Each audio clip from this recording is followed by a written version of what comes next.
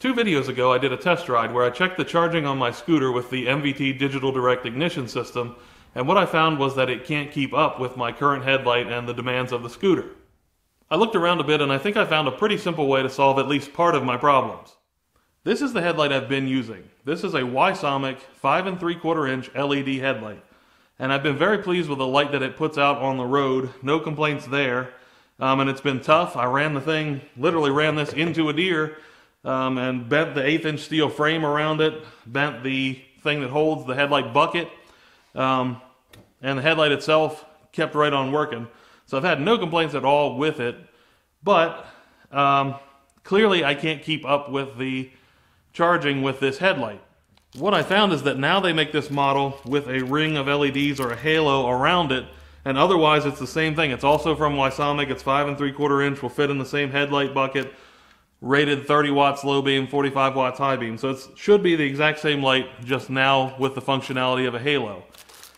On the back here, same H4 connector that this has, except they give you these two connectors. You can plug them in and the halo will be on all the time, or you can supply your own power source to one of them and control when the halo comes on.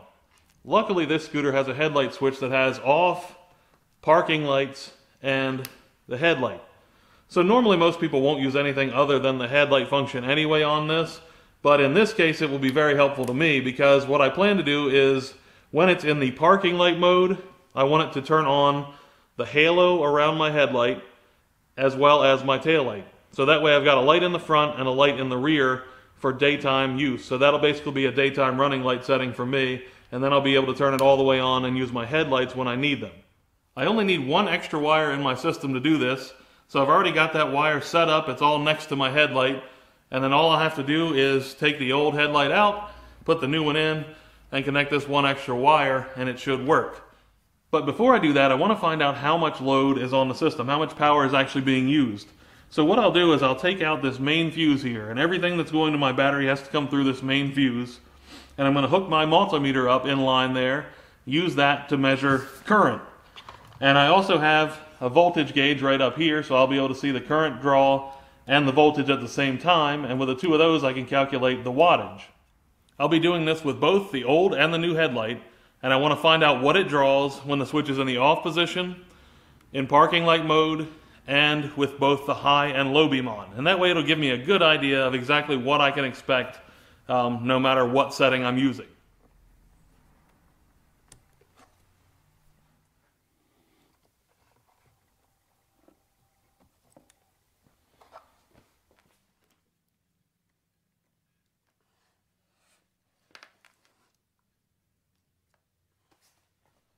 One good thing right from the start is that I have nothing registering on my meter right now. So this is measuring anything that comes through, any kind of load on the battery, and it's showing nothing when my key is off. It's not really related to what I'm doing otherwise, but it's just a good thing to see because anything you see here, any kind of current that's coming through now, is going to slowly drain that battery when the key is off and the scooter's just sitting there. So that's a good start for me. Now I'm going to turn my key on and see what kind of amps it draws with just the key on then I'll turn on my parking light setup and my headlight low and high. So starting with key on. This is just the bare minimum of what this scooter will use.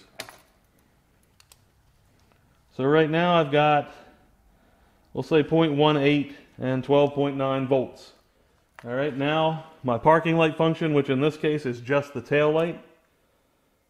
And that goes up to 1 point, or 0.194 amps and 12.8 volts.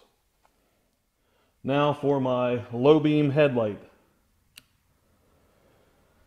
I've got 1.63 and 12.2 and then for the high beam 2.322 and 11.6. Now I'm going to go ahead and switch this light out for the new light and then I'll do the same test over again with the new light installed.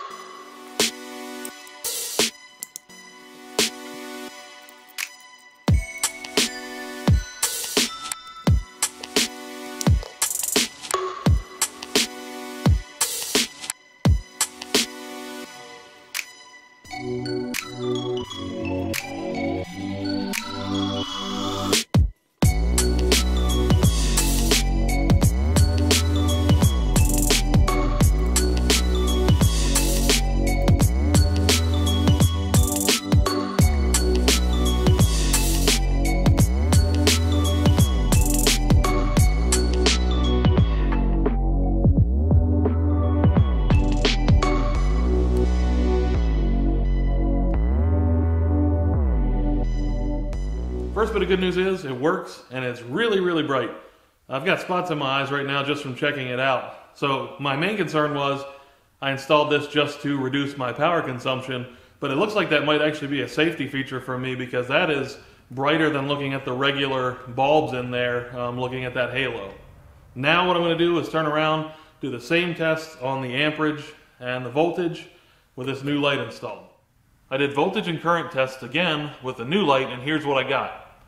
So what strikes me as odd first off is that both of these lights are rated for 30 watts low beam and 45 watts high beam. And as you can see, I'm maxing out about 27 watts and that's with a high beam and that's in this case it's not just the headlight that I'm measuring. I'm measuring everything on the entire system, anything that the battery would be supplying. So that's my headlight, my tail light, my voltage indicator, uh, my gauges, everything. And I'm maxing out at 27 watts here. Another thing that seemed odd to me is that I'm getting about 27 watts max for either light.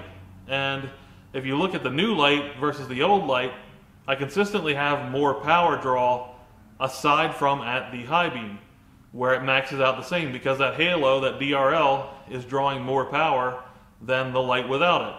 Makes sense, but why is it not doing it um, for the high beam? Because the halo, the DRL, is still on. I noticed that when I was doing the test, my battery voltage drops quite a bit. So for example, when I was doing the last test, my battery voltage was down to just 10.9 volts from up near 13 volts when I started. And these are just very quick tests, as I showed you before. Um, just flicking the lights on, cycling through them real quick, taking measurements, and then I shut it off. So it really shouldn't be dropping that much. And this battery is a couple years old, so that started to worry me that maybe the problem why I'm not seeing that extra voltage there is because my battery just can't supply it. My battery's in really bad shape. So I replaced my old battery with this new uh, Motobatt MBT7XU. It's basically a replacement for the uh, YTX7LBS. Um, drops right in, just has a little more cranking amps, and the old battery was a 6 amp hour where this is an 8 amp hour for the same size battery. And also while I was at it, I went ahead and got a cinching strap here. I was using zip ties to tie down my battery, but I thought maybe if it comes to a point that I have to swap out batteries to ride very long at night, um, then the cinching strap might make it a little easier and faster to swap those out. I did some checks with this new battery, and it looks like the old battery was indeed an issue because I've seen that power consumption has gone up to about 34 watts with the high beam on and the DRL versus 27 watts. So I don't think my old battery was very capable of supplying what the headlight needed before. And while I was at it, I also decided that it would be a good idea to install a switch for the DRL itself. I was initially hoping I could just use the parking light function and the headlight function, but for two reasons. One, to lower the output, and two, because I'm not so sure that uh, other drivers will appreciate this really bright halo at nighttime.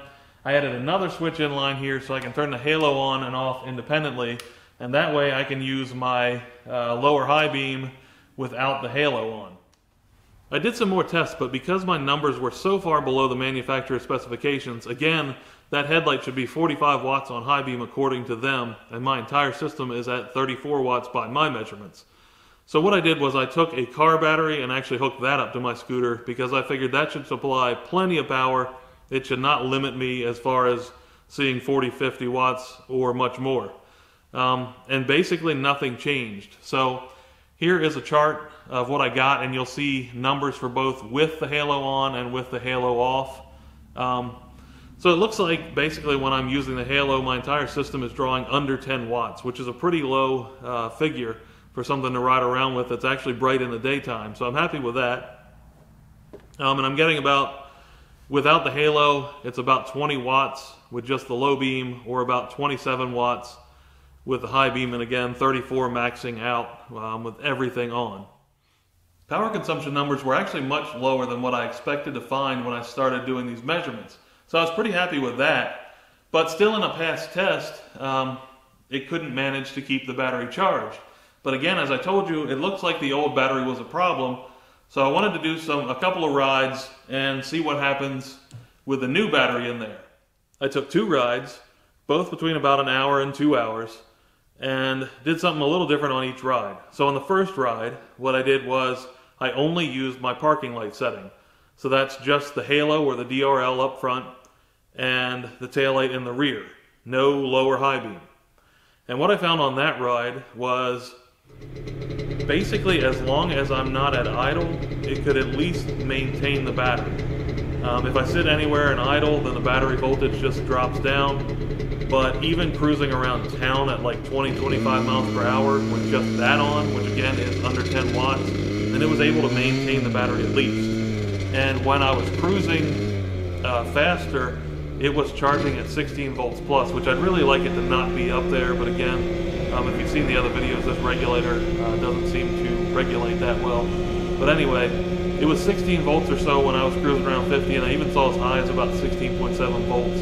So it definitely has no problem keeping the battery charged from what I've seen, aside from, again, maybe I'm overcharging it um, with just the DRL setup. I think the only way that that DRL would really be a problem is if you were stuck in, say, bumper-to-bumper traffic or uh, anything where you basically you couldn't get much above idle for a long period of time, and then even that DRL would be a problem with this setup, where it wouldn't be if you even had just a stock stator. But for most riding, I believe that would be okay. For the second ride, I used the low beam headlight, but I turned the halo or the DRL off so that way power consumption was about 20 watts instead of, I think it was about 26 with it on. Um, and that ride actually it did pretty well also. Now with the new battery, when I ride around cruising at a higher speed, um, it's charging the battery. The only time then that I don't have charging is basically, again, if I'm sitting at a light or if I'm going very slow in town. But it seems like as long as I can stay, for me it's about 30, 35 miles per hour. Basically, if I can stay above about 7,500 RPM, then it will charge the battery to some degree, and it charges just fine if I'm cruising 40, 50 miles per hour. And I think, I didn't really mess with it, but I think um, I could probably even use my high beam as long as I'm probably staying around 40 miles per hour or above, and that wouldn't be an issue. So I guess the old battery really was a problem because before, with the old battery, uh, it was draining the battery quite a bit just trying to ride around. Um, at that time, I didn't even have the DRL, so just the low beam on, it was draining the battery. Um, and now it doesn't look like it's a real big problem. That said, I'm not exactly sure what I'll do about the car shows um, because, say, if I ride around for six or eight hours at night with the low beam on, and that is all in town, that's a lot of stoplight, um, can be really heavy traffic even for the scooter. Uh, I still think I'll probably have to carry extra batteries because it's not going to last that long. Just depends how much I'm able to cruise 30, 35 miles per hour and how much I'm really stuck just sitting still. Um, so I can't say I have a total solution at this point. This is still not something you'd want to ride around at night. Uh, definitely not if you were in town again, going very slow a lot or can't keep the RPM up much. But it looks like, um, at least for me around here where I'm on a lot of open roads, even with a mix of open roads and in town, it does pretty well for itself. So it looks like even with a new battery and installing a DRL so that I'm using under 10 watts, still the smart and easy way to set this up if you're going to use a racing ignition like I have would just be to use power directly from the stator or AC power. Um, because that way the headlight will just dim, or if you got an LED, it will flicker um, at idle and at low RPM when the charging is low, and it won't actually drain the battery as mine will because I have mine set up um, as DC power drawing directly off of the battery for the headlight. So that would be the easy way to go is just use the power from the stator and you may just have to deal with a dim light or a flickering light at idle. The only major issue that I actually had on either one of those rides wasn't related at all to the charging system or the battery. It was something that I was aware of and that actually had been pointed out to me in the comments before, and that was my spark plug wire. So here's my spark plug wire, and you can see it's pretty short. It was initially routed over top of this coolant hose, and then it got, went around there and down to the spark plug, and that made it a little worse uh, than what it is right now. But basically what happened was it's one of those deals where just stupidity on my part, I guess. Sometimes I cut things and I'll just hold my thumb somewhere to mark it, and apparently I either cut on the wrong side of my thumb or my thumb moved, who knows. But at any rate, it turned out a little bit shorter than I wanted, and I just went along with it because I thought, well, it's probably good enough.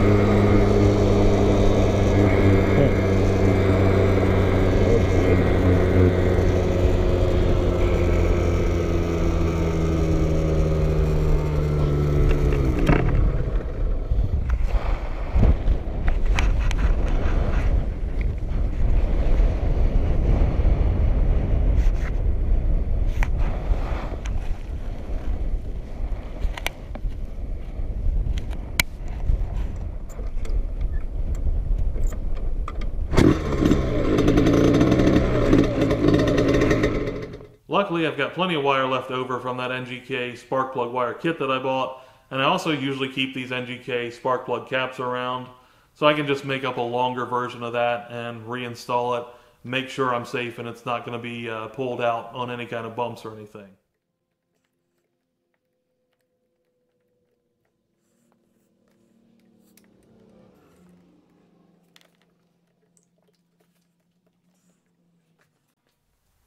I guess that was a bit off topic to the rest of the video, but sometimes I just like to share my fails because maybe we can learn from them, and sometimes you can learn more from the things you do wrong than the things you do right.